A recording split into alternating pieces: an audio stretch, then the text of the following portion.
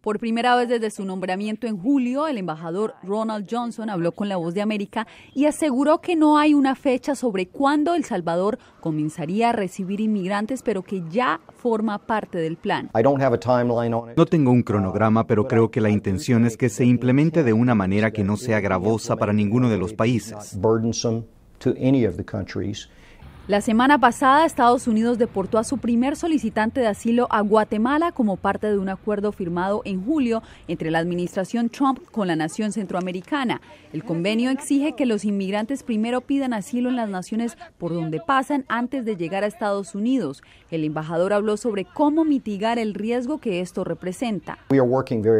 Trabajando muy de cerca con todos los países que han firmado un acuerdo de asilo para garantizar que las personas se reintegren en un lugar donde se sientan seguras y que existan ciertas protecciones. En la entrevista, el embajador Johnson también comentó sobre los esfuerzos de Estados Unidos en El Salvador para contrarrestar a las pandillas como la MS-13. Tenemos equipos legales que están aquí. Tenemos equipos del FBI, trabajamos con sus entidades de aplicación de la ley, trabajamos con su control fronterizo, pero también trabajamos con sus jueces y sus tribunales. El diplomático aseguró que busca crear mejores condiciones de seguridad y oportunidades económicas y que de esta manera se reduzca la migración. Y en el marco de este plan están abriendo 46 escuelas este año. Yasmín López, Voz de América, Washington.